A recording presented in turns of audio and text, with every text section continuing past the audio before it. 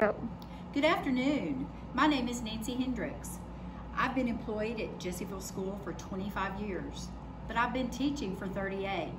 Seems like a long time, huh? I'm your sixth and seventh grade science teacher. Some students will have me for seventh grade, and then some students will have Miss Wharton. Middle school science consists of three disciplines. That would be life science, earth science, and physical science. All sixth, seventh, and eighth graders have all three disciplines, but there's more of each, some in other grades.